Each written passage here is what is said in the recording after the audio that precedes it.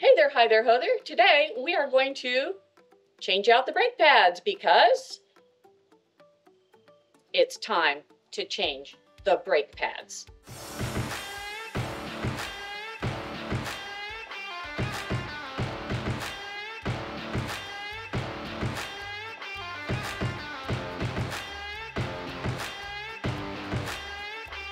Okay, so how do you change the brake pads on a motorcycle? It's a little bit different than on a car. And usually I'm doing all of this stuff myself. But today I have my wonderful assistant, Van, because I couldn't afford Vanna. And he's going to be handing me things as we go through the list of things that you should have to start this project. Okay? So, the first thing that we need, the most important thing, is a bass. What do you mean you don't know what a bass is? The big ass screwdriver. That's a bass. Okay, so we got our bass. Next, what do we need, Van? Beer? The mechanic's gloves. We need some gloves because it's dirty work and it gives you better grip. Okay, what next? The beer. No. no, next we need the tools. Now for my Triumph Tiger, I need an eight millimeter hex. All right, so before you start, check out either in your manual or by visual inspection what tools you're going to need. Okay, so we got our eight millimeter hex, and now we probably need, Beer? no, we need shop towels and cleaner. So, okay, we got the shop towels and cleaner, mm-hmm. awesome. I'm gonna put them up here so you have them in easy reach, okay? Because I'm gonna be down there. Then what else do we need? Beer. No, not the beer. We need the brake pads. Now, count them. Make sure we got four because there's two sets of dual disc. We got four? That would be four. We got two sets. All right, we are good to go on that. Good. Okay, I'll put those over here so you can reach them to hand them to me. All right. So now what do we got? Is it time for beer? Hey, you got it right. Awesome. Okay. So, well, now wait a minute. We got to tell everybody what the beer is for. And we got to rank it. So, we've got a whole damn six pack. So, how many beers do you think this job qualifies for? Using the six pack scale of difficulty. Maybe two per. Maybe two per? Does that mean you get one? I would hope so. What do y'all think? Should I give him one? Okay. But on a level of difficulty, if you're doing this on your own, it's a one beer level of difficulty. Okay? All right. So your biggest job is to make sure that that beer does not spill. Okay? And you're going to hand me tools when I need them. You got that? Got it. Okay. I think Van's got it. Okay. So I'm going to put on my gloves. You got the hex. Yes, you can open the beer now. Now, on the beer scale, of difficulty. Why do I have a six pack scale? Well, I can handle changing out the brake pads. Depending on what kind of bike you have, if you have a lot of fairings and stuff, um, an oil change might be a two beer. On the VFR 800, it's a three beer because that oil filter is a to get out. It's like a, and you got to drop the radiator. And anyway, so that's a three beer. And then if you're changing out a like a stator or a regulator rectifier or something like that, that would be a four beer. Okay, I think you're getting the right, right. But if we make it to a six beer level of difficulty, I don't do those. But why do I have a number six? Because if it's a six level of difficulty, I take the beer to the mechanic. Okay, so good, he got it right. So we'll start with a little, let's get started. Hey, Hodis, Call me a hoe. are you holding it? Yes. There you go. All right. So, uh, you start. Where's my hex wrench? All right, by taking off the calipers, and they're usually a hence the first swig of beer. All right, so this illustrates why the beer is needed to keep down the cussing. Because some idiot must have used air tools when they were working on my bike to put the calipers back on. Hence, I had to go get a breaker bar with an 8mm hex head socket. Mm-hmm. Now I can take them off with the T-handle. Okay, and I remember the 8 millimeter right here. Falling asleep on the job there, Bubba. Come on, Van. All right. And these are long bolts, so you're gonna do a lot of turning on the Tiger. Now, other bikes, you might not have such long bolts, but they will be stout bolts because your brakes are pretty important. They have a lot of um, torque on them, a lot of pressure on them.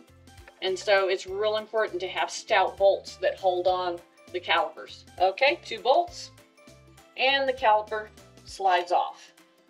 Now, word of warning, stay away from the brake lever.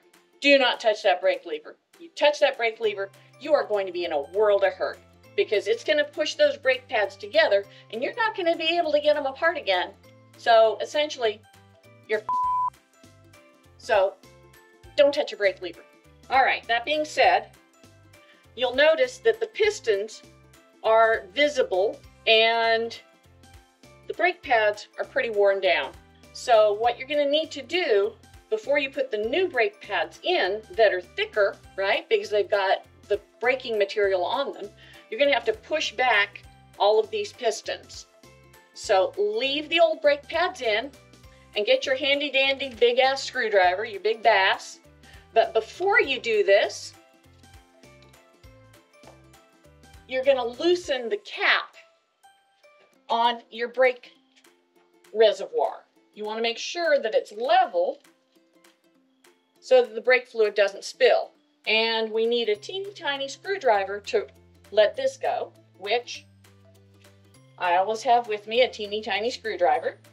So for my brake reservoir, I need a teeny tiny little screwdriver, and most brake reservoirs do require teeny tiny little screwdrivers. So my handy dandy multi-tool here. So I proceed to assemble my little screwdriver. There we go. Now you take the screws all the way out, and it's always handy dandy if you can get one of those magnetic bowls to keep all your parts in. But I'm gonna give Van my little screw and he's going to put them in a safe place so that when it's time to put them back on the brake reservoir, I don't have to go digging around. All right, so that's step one. I got a swig. Step two, loosen that brake reservoir cap. You don't have to take it off, you just got to loosen it so that when you push the pistons back, the hydraulic fluid has somewhere to go. So you're not, so you're not fighting it. Next, put gloves back on because brake calipers and brake pads are nasty dirty. So I strongly recommend you have gloves. All right, so now we go at it with the bass and you just get in there and you pry them apart and that's gonna push the pistons in. Up, oh, one brake pad, put it back in. All right, if you don't put your brake pads in the right way, I mean, if your brake pads fall out or you forget just get a wooden shim or something that you can use to protect the pistons. You don't ever, ever, ever, ever, ever want to put something directly against the pistons because that will score the surfaces and ruin them. So don't do that. And you want the pistons all the way in because if they're not all the way in, then the calipers with the new brake pad aren't going to fit. You're not going to be able to put the calipers back on the rotor. There won't be enough room. So as you can see, these brake pads are pretty worn down. This was really close to uh, being totally bad and scoring my rotors. So you want to keep an eye on it. Make sure that you can still see those little ridges. That's worn down. Time to change it. And this is, oops, I'm don't ever ride with brakes that look like this. When you take your brake pads out, make sure to watch if there are any spacers on the backs or if there are any clips. And there aren't any retaining clips or spacers on this one. All right, now we need the new brake pads. Whoa, shiny new brake pads, like that. So new brake pads, old brake pads. You can see the difference in the thickness, right? Okay. Okay, so now you've got the brake pads out. You want to clean your calipers and inspect them. Make sure everything's good. I'm out of brake cleaner, so we're going to pretend that I did that. Another thing you need is a Scotch Brite pad and your brake cleaner. And you're going to clean off your rotor so that it's a nice, smooth, clean surface and get all the old brake material off of it. I'm working with what I got, so I haven't done that. Don't bitch at me. I need new brakes, so we're just to make do and pretend that I used the Scotch Brite pad to clean off the rotor and to clean my calipers. Okay, let's go. There we go. One down, one to go. Thank you.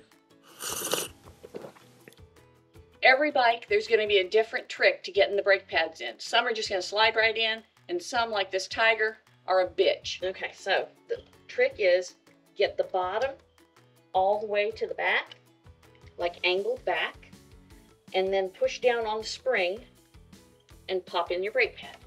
Ta-da! Now, there should be plenty of room for this to pop back on the rotor. Should. If I push the pistons back enough. If I didn't push the pistons back enough, I'm gonna have to go back and push the pistons back out. And look at that, it just slid right on. Brake pads on both sides. Okay, that's one. The other. Now, remember I said the bolts need to be stout and the brakes have a lot of pressure exerted on them, but these bolts do not need to be torqued more than hand tight. You can crank down on them, but not more than hand tight. Do not use air tools on your brake caliper. Okay, there we go. One side done. Now we do the other side just the same. Now we're gonna watch Van and see if he learned. I mean, I can have a beer. That means you get to have a beer. Grab it now. Yes, you can go get your beer now, Van. Thank you. All right, Van, you got all your tools? Are you sure? Sure. I got the beer. I've got the T handle, the bash, paper towels. Okay. That's it. Oh, because you're going to clean the caliper. You're going to clean. Okay. So, all right, let's get started. Take a swig of beer. There you go. Keeps the cussing down. All right, now what are you going to do? Now compress the pistons. Now compress the pistons. A whole lot of life left there. Twister. Yep. Yeah, twisting that bass helps. Almost. You got one side. There you go. There you go. Okay, now the other side. Front and back. Okay. Now go to the middle to make sure they're both pushed in at the same depth. Okay, I think you got it. That looks about right. Next step. Next step. Now remember there's a spring in there so you push down to get them out. All right. All right, those had a little more life in them than the other ones. Now, this is a good time to tell everybody um, everybody here is over the age of 21, and uh, you know, you don't want to be doing this with your eight year old having them drink. So, you know, remember, you got to be 21 to make sure that uh, nobody underage is uh, using all the tools required for this job. Okay, pads are all good. We're going to pretend that we cleaned the other rotor and cleaned the caliper and you've inspected it properly, that it's good to go? Yes. Okay. Now you drop it in and push down and it should pop in. Nope, you didn't put the bottom back far enough. Well, didn't. Sure. You got it? Yep. Yeah. Woohoo! One side. I think it was just barely. Yeah, there you go. Yeah, you got to get it on that spring and push. Maybe. Okay, now you got them in straight, both? What's next step? Good job. All right. Now, gonna slide that caliper right back on the rotor. Look at that. Beautiful job. Yeah, it takes a little finagling to get it started. And those are long bolts. It takes forever for those to go in. Yep, just one ugga dugga. There you go. Boom. Look at that. All set. All set. Well done. Okay, so are we done? Not yet. Okay, what do we have to do? We need to finish the beer. No, not yet. What else do we need to do? Put the brake reservoir cap on. Put the brake reservoir cap back on. There we go, and I'll trade you. I will hold your beer. Thank You've earned it. I know. Yep. All right, dry it off real good. How are we done? Now we gotta finish the beer. No. Now we need to pump the brakes. Okay, I will let you have the honors. So, once you've got the new brake pads in, you need to seat them. The first thing you do is you pump the brake lever a few times, give it five. And you can see in your brake reservoir that the fluid is going down to a normal level. You see it going down? Okay, try again, five more, until you feel some resistance. Are you feeling some resistance? All right, there you go. Now, obviously, because we have been imbibing, we are not going to take the bike out for a shakedown run. But the first time you take the bike out, you want to roll slowly and hit the brakes really hard a few times to seat the pads. Now are we done? Now can we finish the beer? Now we can finish the beer. And that's how you change out your brake pads. So, if you found this helpful at all, please, please remember to like, subscribe, hit the little bell in the corner. And it really is important for you to subscribe to this channel um, so that I can keep making these videos for you. I hope you found it useful. So please hit that subscribe button, okay? Get out there and have an adventure.